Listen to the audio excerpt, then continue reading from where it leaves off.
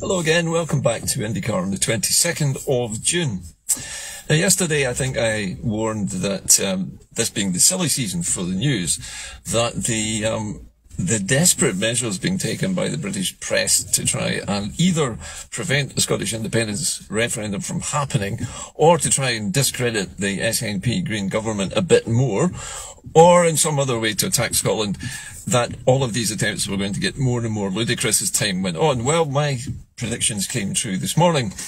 What do I see when I open the BBC's webpage but a ridiculous piece of statistical nonsense? Apparently, Scotland is now um, the leading place in the UK to drown. Yep, apparently it's much more likely that you will drown in Scotland than any place else in the in the UK at the moment. Drownings apparently are up uh, despite a Scottish government plan to try to reduce the accidental deaths of people in Scotland's waterways. Now, you might think, well, okay, there's been an increase in the statistics for people drowning, but that's probably due to the fact that people have just come back out of hibernation after being in um, in COVID lockdown twice, and they're now visiting Scotland's tourist attractions, and we have a lot of water, probably more water than any part of the United Kingdom.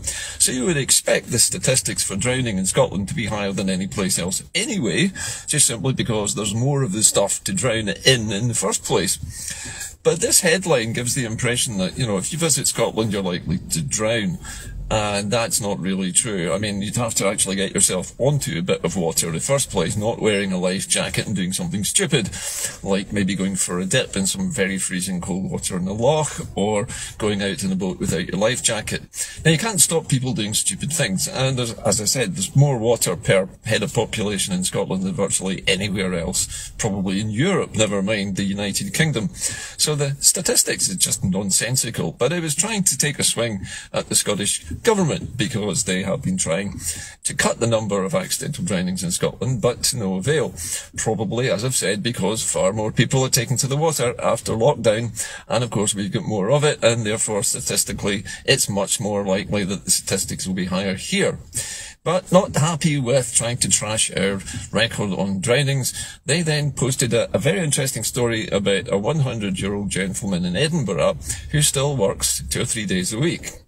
Now, when you see these headlines together, it begins to look like you're, you're likely to visit Scotland and die of drowning, and uh, the local pensioners have to work right up until they're 100. This gives a very misleading picture of Scotland. The fact that one single 100 year old chooses to work a few days a week, and it's entirely up to him if he's fit enough to do it, why not? But it's just all of this misleading nonsense. Of course, this is the silly season. This summer period when, well, traditionally, uh, Westminster and Holyrood go into recess, so there's no stupid stuff being done by the politicians that we can talk about. Well, there is, but nothing official. So they have to talk about something else. And so we have drownings and 100 year old workers. But it goes on and on. But I've also been watching the news from England and particularly the way that the uh, Tory government is handling this rail strike. Here in Scotland, the um, the dispute at the moment is still kind of log jammed. Basically, the Scottish government, which is now the employer as far as uh, the railways in Scotland are concerned, with the Scottish government taking uh, ScotRail back into public ownership, means that they get to negotiate with railway workers, but not, incidentally, those who work for Railtrack, the people who maintain the rails and the sleepers and all the bits and pieces which actually the trains run over. That is still the well, basically, it's the duty of the British government to deal with that. But they don't seem to be doing a terribly good job. Grant Shapps, who incidentally was revealed uh, recently to have been using false names to promote a Ponzi scheme online where he was basically selling a self-help book to people and then telling them to recruit a hundred other people to buy this self-help book. Um, and used three different false names to do it. Grant Shapps, this is the man who is supposed to be uh, helping, if that's the right word, or facilitating the British rail companies. Now remember, the, the railway system in England is privatised. And the privatised firms have been wanting to lay off over 3,000 railway workers reduce the safety of the railway um, by reducing the number of people working on the tracks and maintaining the lines, as well as cutting the wages of thousands of rail workers. And they're surprised that they go on strike. But not content with that, Grant Shapps has also been lying about the unions, claiming that the union had walked out of talks when they plainly hadn't. Grant Shapps is well known for lying, and his um, his history in the past uh, for trying to set up what is basically an online con with three different names has been well published in many other places. But this is the guy who is supposed to be in charge of the government's response to this crisis. And he's got to the point where he's recommending that agency staff be brought in to, to run the railways. And uh, even particularly Sky News uh, and others have been claiming that um, the rail strike is going to cause people to die because they can't get a train into hospital. Now, anybody who is at the brink of death doesn't go to hospital in a train for a start. They go in an ambulance. So all of this nonsense having a go at the, the unions is just typical Tory far right policy. The wealthy owners of the railway companies the shareholders of private companies are getting wealthier and wealthier while every single private and public sector worker in the United Kingdom gets poorer. And for once, the unions are doing something about it, and I believe there is going to be a summer of mass strikes all over the UK, mostly down to the Tories' mismanagement of the economy. In Scotland, the rail dispute is still uh, in negotiation. The negotiations have stalled, but nobody has walked out. You don't see the Scottish Government lying about the unions walking out of talks when they haven't. Yes, these are hard negotiations, and there will need to be some trade-offs, and there will be some horse trading and compromises. That is the nature of any uh, workplace dispute resolution. It has to be resolved by both sides. I don't hear anything about the Scottish Government doing the kind of nonsense which Grant Shapps is up to. Now, the final thing, the final interesting piece of ridiculous nonsense from particularly the BBC today was a piece they we're talking about Nicola Sturgeon as about to, to make clear how the new referendum is going to be staged in Scotland with or without the so-called permission or the Section 30 order from the United Kingdom. And the BBC helpfully suggested that in order to avoid a court challenge from uh, the British government, that the Scottish government should rephrase the question. Uh, so instead of asking the public whether Scotland should be an independent country or not, they should, and this is, I'm paraphrasing here, they should ask a question which says, should the Scottish government negotiate Scotland's independence with Westminster. Now, if you think about this for a moment, that sounds terribly helpful because that's going to avoid this legal challenge. But in actual fact, it does two things which go against independence. The first one is that instead of the British government having to respond to the democratic will of the people of Scotland in a referendum, in other words, if we vote yes, they have to do something about it, or they look pretty stupid, They've moved the goalposts, or are trying to, through the BBC, so that it's the SNP who has to get the independence from the UK by entering negotiations with Westminster.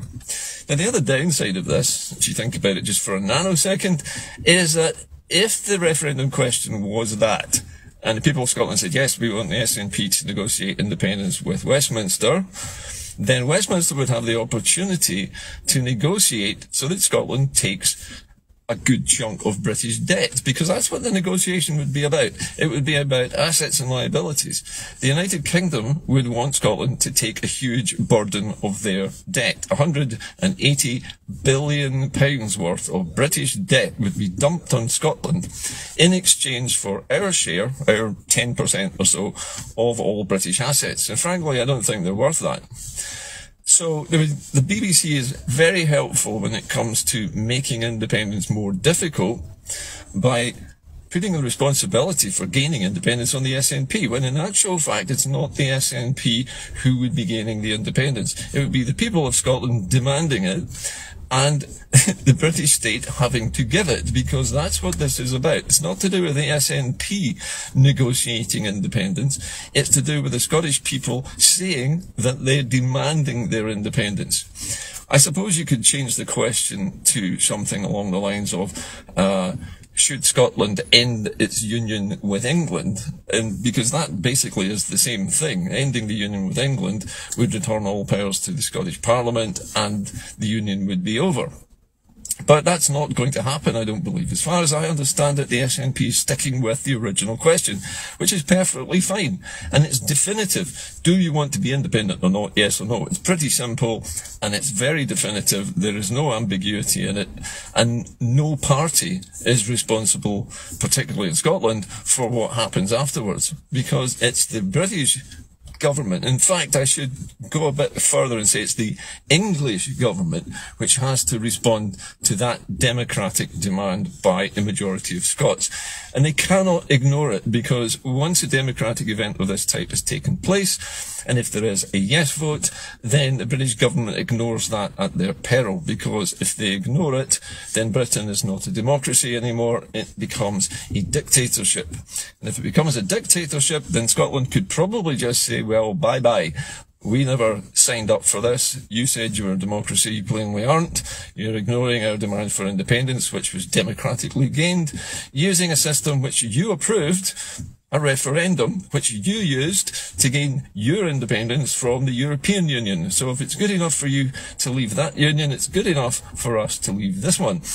And that is really where it all hangs. I think the um, the media is doing an absolute bang up job of looking absolutely stupid in the, in the, last few days, coming up with the most ridiculous stories. I mean, come to Scotland and you're more likely to drown, and if you're a pensioner in Scotland, you're likely to work till you're 100. I mean, this is the impression these headlines give, and they know this. The other one I noticed today is that an avian flu on St Kilda is going to wipe out uh, all of one particular species of birds, as if avian flu is entirely the fault of Scotland and that it's the only place where avian flu exists. Far from the case. So, you were in the silly season, right enough, and until Nicola Sturgeon actually tells us how they are going to have a perfectly lawful referendum, and remember there's a difference between illegality and unlawfulness, a referendum can never be illegal, simply because it is by its definition, it has to be lawful. It has to be legislated for under the laws of Scotland. We already have a Referendums Act, which enables any referendum of any type to be held. And that means that a second piece of legislation, known as the Scottish Independence Referendum Bill, then needs to be discussed needs to be passed as an act, and that enables the lawful referendum to take place under the laws of the country where it's being held, i.e. here, under Scottish law. There is nothing in English law which can be done to prevent it. If the British government decided to try to challenge this in court, even if it were the Supreme Court, which meets in England, a, it would have to contain a particular number of Scottish judges for a start, and it would have to use Scots law only to make its challenge.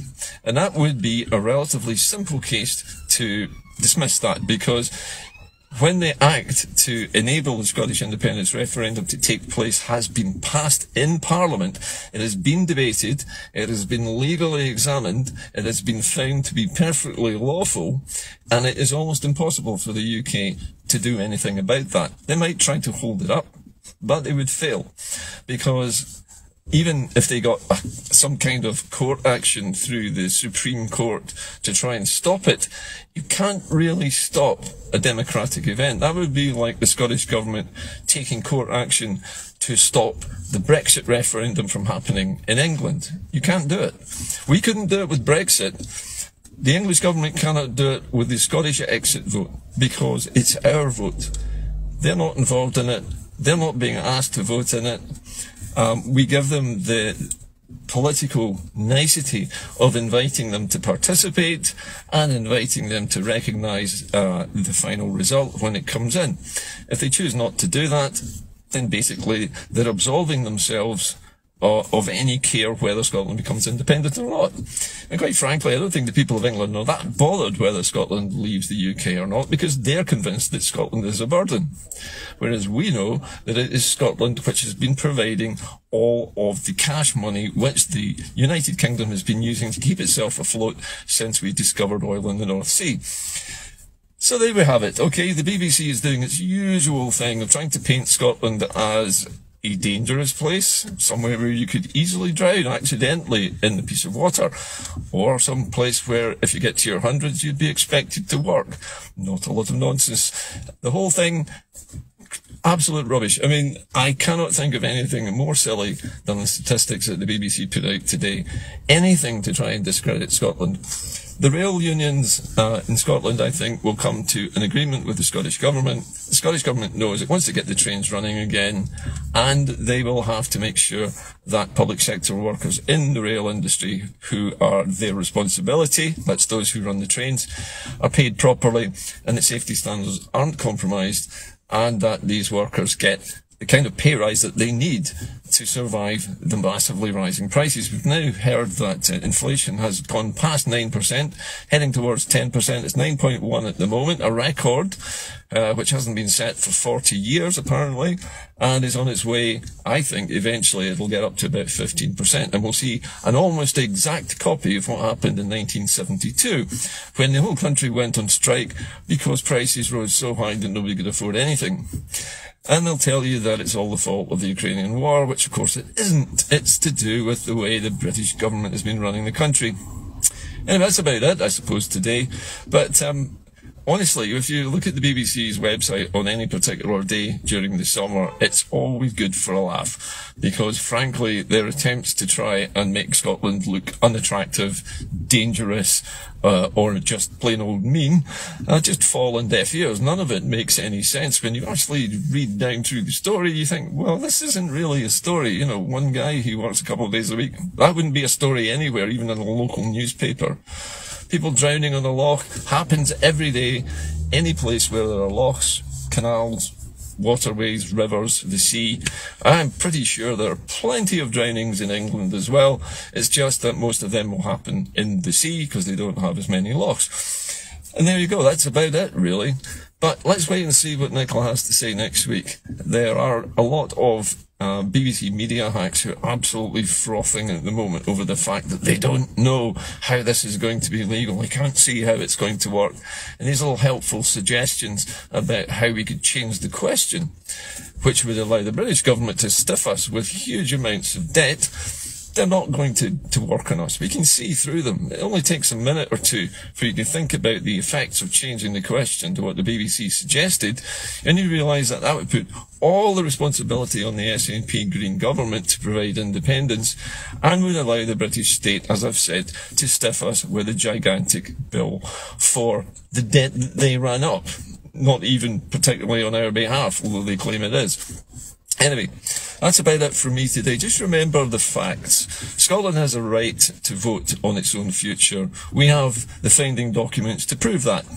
We are allowed to depose any rulers we don't like. We can kick any monarch out that we don't like. We can also completely boot out any government that we don't like and install a government which best suits our needs. And in this case, in the independence referendum, we're going to be asked if we want that government to sit here rather than in London. It's quite a simple prospect. It's not complicated to understand it. And there is no legal challenge that I can see that would make the slightest bit of difference to this, despite people like, um, ooh, what's his name on the BBC? Old Glenn. Yes, old Glenn there. I had to go at him the other day. But anyway, that's it for me today. Enjoy your day. The sunshine is coming out. It's nice and dry. It looks set fair for the next few days. So get out, enjoy the weather. And remember, Nicola Sturgeon was not going to come up with a referendum that's illegal. I mean, who would do that? I mean, what would be the point? So we'll have our referendum. It might be interesting actually to see how early it is. All we've heard from Angus Robertson is that it will be before uh, October next year. And that's an interesting way of putting it. It will be before October. So it could be any time next year. And I hope uh, Glenn Campbell is listening to this because it could be any time, Glenn. Anyway, I'll see you soon. Have a great day. Bye bye for now.